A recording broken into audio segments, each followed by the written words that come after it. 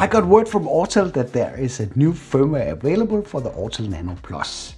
And that is going to, among other things, to add some really exciting stuff uh, to your drone, something that we have been waiting for for a long time.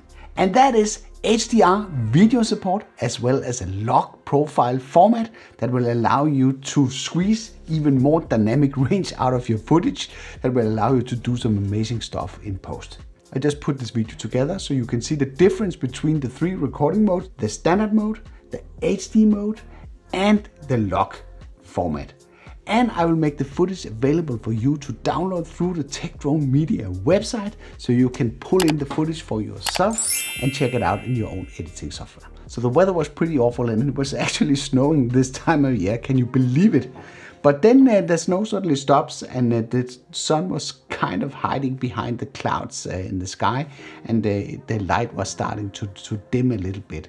So that was a really perfect scenario to demonstrate the dynamic uh, range capabilities of the drone because we have a lot of uh, bright tones in the image as well as uh, some really dark areas. And this is where we want the log footage because that can allow us to recover some of that detail in the footage in post-production.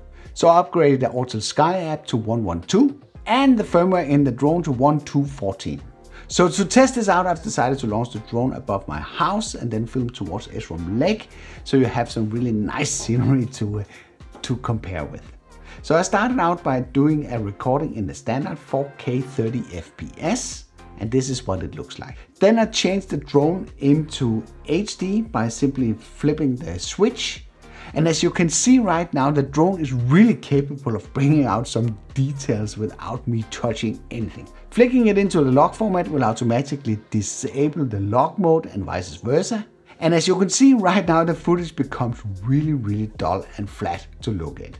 And you would need some post-processing to resurrect this footage and bring it to its full potential. So what do you think about the difference? Here I will put all three clips on the same page for you to compare. Let me know in the comments below. And as mentioned through a link in the description below, you will be able to download the footage from the Techdrone Media website. I hope you liked this video. If you did, then feel free to give a like. If you didn't like it, feel free to press the dislike button twice. Thank you for watching and I'll be seeing you around.